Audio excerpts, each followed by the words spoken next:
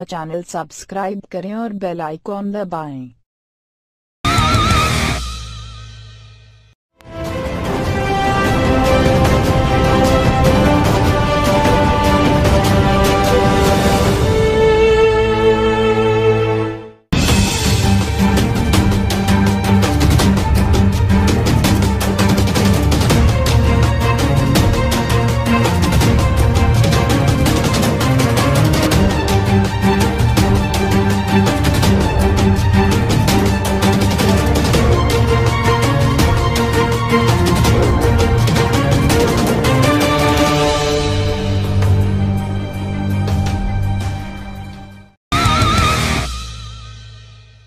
Report. अपराधियों को नेता बनाने में बीजेपी ने फिर मारी बाजी देश में चौसठ नेताओं पर दर्ज अपहरण के मामले में भाजपा में सबसे ज़्यादा।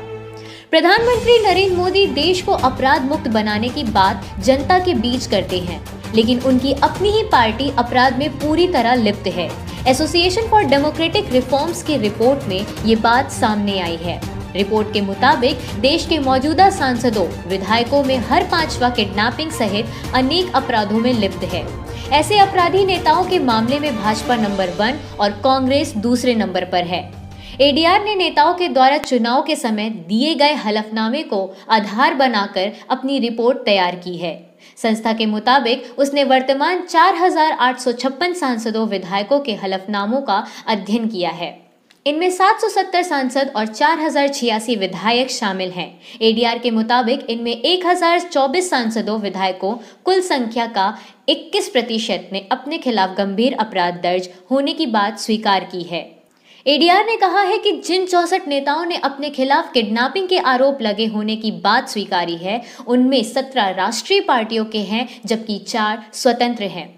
संगठन के मुताबिक अपराध की घोषणा करने वाले नेताओं में सबसे ज़्यादा सांसद विधायक 16 भाजपा से हैं, जबकि छह छह उम्मीदवार कांग्रेस और राष्ट्रीय जनता दल से हैं। भ्रष्टाचार के आरोप में केजरीवाल से कुर्सी छोड़ने की मांग करने वाली रूबिका लियाकत, क्या अब पत्रकारिता छोड़ेंगी? आप नेता। कथित भ्रष्टाचार के मामले में लोकायुक्त और सीबीआई ने दिल्ली के मुख्यमंत्री एवं आम आदमी पार्टी प्रमुख अरविंद केजरीवाल को क्लीन चिट दे दी है। मुख्यमंत्री पर भ्रष्टाचार के आरोप उनकी ही पार्टी के बागी विधायक कपिल मिश्रा ने लगाए थे। केजरीवाल को क्लीन चिट मिलने के बाद अब इस मामले में मीडिया की भूमिका पर सवाल उठने लगे हैं। आपके नेताओं का कहना है कि मीडिया ने साजिश के तहत कपिल मिश्रा के साथ मिलकर मुख्यमंत्री अरविंद केजरीवाल की छवि को खराब करने की कोशिश की। आपकी रोहतास नगर सीट से विधायक सरिता सिंह ने जी न्यूज़ के प्रोग्राम ताल ठोके पर उठाए गए उस सवाल पर पलटवार किया है, जिसमें इस मामले को लेकर यह पूछा गया था कि क्या कुर्सी छोड़ेंगे केजरीवाल। उन्होंने प्रोग्राम की एंकर रूबिका लियाकत से ट्विटर के ज़रिए पूछा है। क्या अब आप पत्रकारिता छोड़ेंगी? इस मामले को मीडिया ने जिस तरह से पेश किया, उसे देख यही कहा जा सकता है कि मीडिया ने बिना किसी आधार पर सीएम केजरीवाल के खिलाफ रिश्वत लेने का आरोप लगा दिया था। इन मीडिया संस्थानों ने पहले केजरीवाल को कुर्सी छोड़ने से लेकर ईमानदारी का मसीहा कहते हुए करप्शन का किंग घोषित कर दिया था। मीडिया चैनलों ने जज का किरदार निभाते हुए पहले ही फैसला दे दिया था कि सीएम केजरीवाल और उनके मंत्री घूसखोर हैं। और आरोप लगाने वाले आपके बागी नेता कपिल मिश्रा शत प्रतिशत सही। मगर जब सीबीआई ने अपनी रिपोर्ट पेश की तो उसमें कहीं भी रिश्वत लेने की बात सामने नहीं आई, जिसके चलते लोकायुक्त ने उन्हें क्लीन चिट दे दी। विजय माल्या के लिए लंदन कोर्ट ने मांगा भारतीय जेल का वीडियो। अलका बोली मोदी राज में भगौड़ों के आए अच्छे दिन। भारतीय बैंकों को हज़ारों करोड़ का चूना लगाकर ब्रिटेन भागी शराब कारोबारी विजय माल्या के प्रत्यार्पण मामले में लंदन की वेस्टमिनिस्टर मजिस्ट्रेट कोर्ट में मंगलवार को सुनवाई हुई। भारत प्रत्यर्पित किए जाने के खिलाफ माल्या की याचिका पर सुनवाई करते हुए कोर्ट ने भारत सरकार से जेल का वीडियो मुहैया कराने का आदेश दिया है। दरअसल, विजय माल्या ने अपने वकील के माध्यम से लंदन की अदालत में कहा था कि भारतीय जेलों की हालत ठीक नहीं, इसलिए उन्हें भारत प्रत्यर्पित नहीं किया जाए। माल्या की इसी मांग के मद्देनजर इस केस की सुनवाई कर रही जज ने भारतीय अधिकारियों को कहा कि प्रत्यर्पण होने की स्थिति में जिस जेल में माल्या को रखा जाएगा, उस जेल का वीडियो अदालत में जमा करवाएँ। लंदन की अदालत में भारतीय अधिकारियों को यह भी कहा गया कि जेल की वीडियोग्राफी दिन के उजाले में होनी चाहिए। प्रत्यर्पण होने की स्थिति में माल्या को मुंबई के ऑथर रोड स्थित केंद्रीय कारागार में रखा जाएगा। फ़िलहाल माल्या को कोर्ट ने राहत देते हुए बेल दे दी है। अब मामले की अगली सुनवाई 12 सितंबर को होगी। लंदन की अदालत के इस आदेश को लेकर आम आदमी पार्टी की विधायक अलका लांबा ने केंद्र की मोदी सरकार पर निशाना साधा है। उन्होंने ट्वीट कर कर कहा कि मोदी सरकार के शासनकाल में भारत में ऐसा पहली बार होने जा रहा है कि जब किसी भगौड़े को वापस लाने के लिए सुरक्षा व्यवस्था को नज़रअंदाज करते हुए जेल की वीडियोग्राफी की जाएगी। मोदी सरकार में भगौड़ों के आए अच्छे दिन। बता दें कि माल्या पर भारतीय बैंकों के साथ कर्ज में नौ हज़ार रुपए करोड़ की धोखाधड़ी और मनी लॉन्ड्रिंग का आरोप है और वह अपने आप को भारत को सौंपे जाने की भारतीय एजेंसियों की ओर से दाखिल अर्जी का विरोध कर रहे हैं। फ़िलहाल 9000 करोड़ रुपए की कर्जदार माल्या पिछले दो साल से लंदन में स्वनिर्वासित कर रहे हैं। मुसलमानों को आरक्षण देने की मांग का शिवसेना ने किया समर्थन, कहा, आरक्षण न देकर गलत कर रही है फडणवीस सरकार।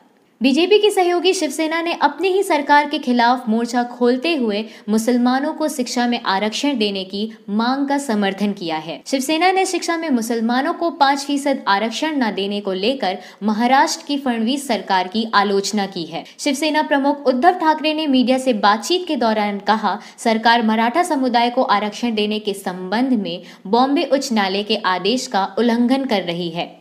जबकि सरकार को मराठों ही नहीं, डांगर और मुस्लिम समुदाय को भी आरक्षण देने पर विचार करना चाहिए। उन्होंने कहा कि अगर राज्य और केंद्र में सरकार चला रही बीजेपी इस दिशा में कोई कदम उठाती है तो शिवसेना उसका समर्थन करेगी। शिवसेना के इस रुख का उसकी प्रबल प्रतिद्वंदी ऑल इंडिया मजलिस इतिहादुल मुस्लिमीन ने स्वागत किया है।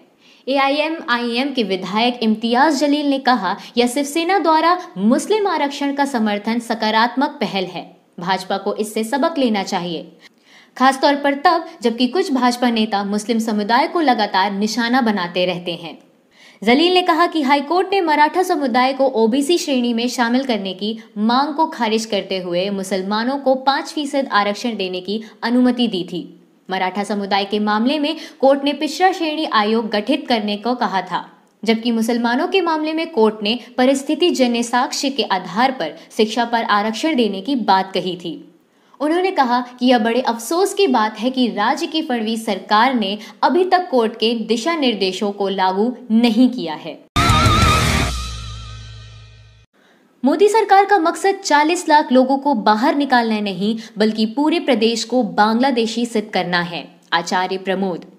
देश में बेरोजगारी और महँगाई जैसे अहम मुद्दों को दबाने के लिए मोदी सरकार रोज रोज नए मामले को लेकर सामने आ रही है। असम में नेशनल रजिस्टर ऑफ़ सिटीजन्स की दूसरी लिस्ट को सोमवार को प्रकाशित होने के बाद राज्यसभा से लेकर लोकसभा हंगामा जारी है। वहीं बीजेपी विधायक टी राजा का गोली मारने वाला बयान इस मामले को हवा दे रहा है और विपक्ष दलों में जो कोई आवाज़ उठा रहा है, उसे सीधा सीधा बांग्लादेशी करार बता दिया जा रहा है।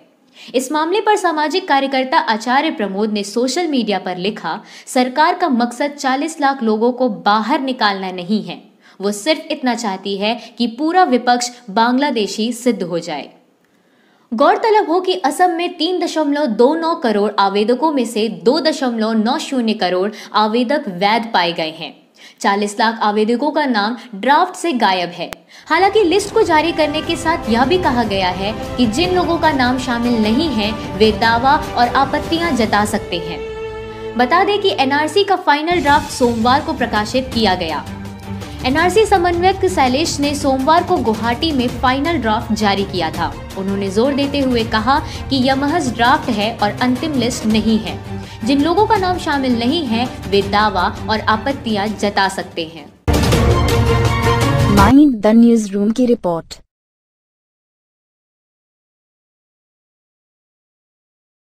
उम्मीद करते हैं आपको ये वीडियो ज़रूर पसंद आया होगा। हमारे इस वीडियो को लाइक और शेयर ज़रूर करें। और अगर आप अपना कुछ फीडबैक या सजेशन देना चाहते हैं तो नीचे कमेंट सेक्शन में कमेंट लिखकर दे सकते हैं। अगर आपने अभी तक हमारे चैनल माइंड द न्यूज़ को सब्सक्राइब नहीं किया है तो प्लीज़ अभी सब्सक्राइब करें और बेल आइकन भी दबाएँ, ताकि आपको हमारे नए वीडियोस के बारे में सबसे पहले पता चल सके। तो देश दुनिया की सनसनीखेज और मज़ेदार खबरों के लिए देखते रहे माइंड द न्यूज़